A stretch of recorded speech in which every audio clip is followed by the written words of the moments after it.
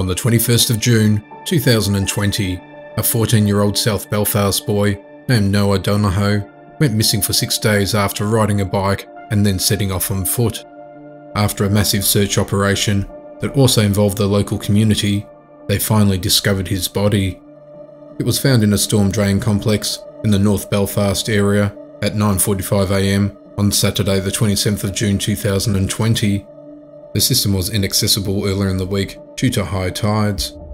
On the day Noah went missing, he was seen riding his black Apollo mountain bike from his home in the South Belfast area at around 5.30pm.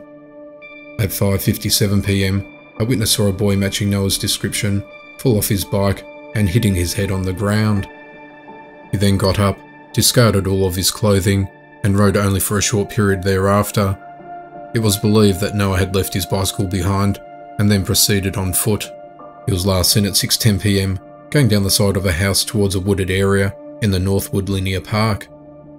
His family have said those actions were completely out of character, and it's believed that the fall from his bike caused him to sustain an injury, resulting in him feeling disorientated and confused. His helmet, runners, hoodie, bike, and mobile phone were located almost immediately.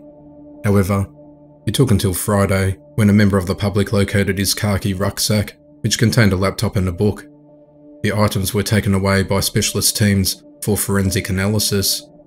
The locals were urged to check their gardens and sheds for the boy. It was unclear why he travelled three miles to the north of the city, away from home in the first place. Noah's mum Fiona Donohoe expressed how her heart was broken and thanked the community for their support in this difficult time. Noah was a student at St Malachi's College was industrious, intelligent, and often involved himself in extracurricular activities such as sports and playing the cello. No foul play was suspected in the case. Tracy Byrd was a 14 year old girl. She vanished on the 7th of March 1983 after her mother's boyfriend, Peter Greenwald, dropped her off at Bensalem High School in Pennsylvania. Unbeknownst to her mother or Paul, she kept a secret that she was suspended from school and wasn't allowed to attend classes until her mother met with the principal.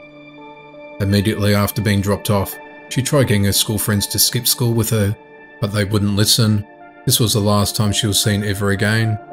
Initially, she was considered a runaway because she'd left home once before after arguing with her mother, but that was only for one night. There have been many possible reported sightings of her, but this was thought only to be of someone that closely resembled her. Tracy was dating a couple of guys at the time. The night before she disappeared, she told a friend of hers that she may have been pregnant, though this was never confirmed. On the 18th of October, 1983, almost seven months after Tracy vanished, her mother Jean Byrd also went missing. She'd broken up with Paul, and her body was found later in Blackbird State Forest in New Castle County, Delaware. She'd been suffocated and had heavy duty tape wrapped around her face and mouth. In 1980, Paul had a troubled relationship with Jean and had forcefully taken her with him in a car, threatening her life if she didn't come along. Paul was unsurprisingly a prime suspect. He was questioned and found guilty of taking Jean's life. However, whilst trying to extract further information about Tracy's whereabouts, he proclaimed his innocence and stated he was never connected to her disappearance. In 1986, just one day prior to Paul's sentencing, he took a large dose of medication after he became overwhelmed and he passed away in his cell. The runaway theory was discarded because it would have been likely that Tracy would have attended her mother's funeral as they were very close. In January of 1988, a man walking his dog found a pregnant woman's remains in a well at the site of a defunct distillery. The investigators had limited information on Tracy, the authorities didn't know her blood type, they lacked her fingerprints, and they only had an x-ray of a baby molar tooth. Using the technology and information they had at the time, the police concluded that the body wasn't Tracy's. The forensic science of 1988 concluded that the unidentified remains to be that of a white woman, between 100 and 120 pounds, and between the ages of 17 to 23. It was estimated that the remains had been there for anywhere up to five years before they were found. A reconstruction was completed of what the woman may have looked like. It is suspected that someone had taken Tracy's life it could have been one of the guys that had possibly impregnated her. To this day, the case remains unsolved. On the evening of the 7th of July 1984, seven year old Louis Mackerley mysteriously disappeared. He lived in a second floor apartment in Allentown, Pennsylvania, with three other siblings. He was friendly and loved to talk, but had trouble at school. He suffered from a short attention span and hyperactivity, so took Ritalin to help control his condition. That afternoon, he arrived at home from school and his mother was in hospital having surgery at the time. He explained to his aunt, who was babysitting, that he was going to visit a friend. It was believed that friend was an elderly woman that he often saw who lived a couple of doors away. At 4pm, a local hot dog shop owner noted that Louis came into his shop and he told him that two teenage boys were teasing and chasing after him. He spent some time there browsing to escape from the bullies until he finally left at 4.45pm. Witnesses observed him walking about a block from his house and his parents believe that he was on his way to visit the elderly lady. Another witness account reported seeing him talking to an unidentified man and woman in a park near Jordan Creek at approximately 4.30pm, one block from his residence, which conflicts with the time he was with the shop owner. This story was unconfirmed, but it was not ruled out as a scenario in the investigation either.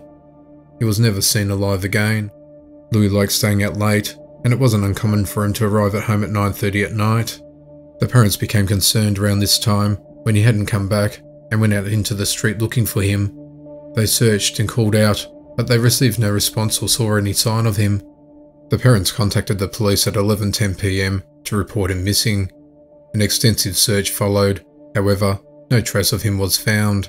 Louis was one of the first missing children to be featured on milk cartons, grocery bags and billboards.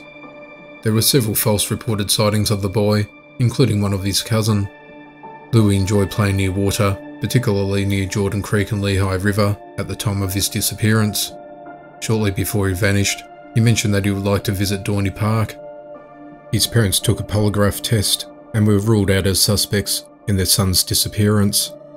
Rumours started surfacing that they had mistreated or neglected Louis, but the social services investigated and discovered the allegations to be unfounded. The teenage boys were also questioned and cleared.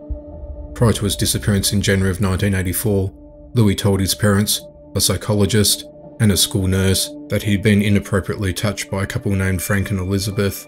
The accounts of the alleged incident differed.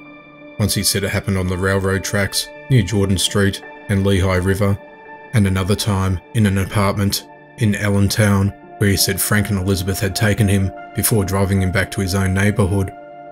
Louis mentioned that the couple threatened to injure him if he told anyone about what had happened. The police were alerted, but they didn't have enough evidence to investigate the matter further, as the last names and addresses weren't provided. It's unclear whether the incidents really occurred or if it had anything to do with Louis' disappearance half a year later. In 1988, David Riggs, a rogue private investigator from New York, claimed to have established an organisation called Search 7 to look for Mackerley and other children. He was arrested in West Virginia after he approached five young boys and offered them money to pose wearing bikini underwear. All the boys declined. He was arrested for attempted abduction and indecent acts and sentenced to a year in prison. He was investigated for a possible connection to Louis' disappearance. However, no evidence could be found. Eleven months after Louis disappeared, his family moved into the elderly female friend's house and she moved into a retirement home. Mackerley's family wanted to be at a place he knew and might return to. He had often played at the residence and had dreamed of living there one day. Louis' parents, however, were unable to repay the loan for the home and relocated to Effort in Pennsylvania in 1989. The parents believe he might be alive, but feel that he may not remember who he is. To this day, he remains missing and is suspected of being abducted by a non family member and the case remains unsolved.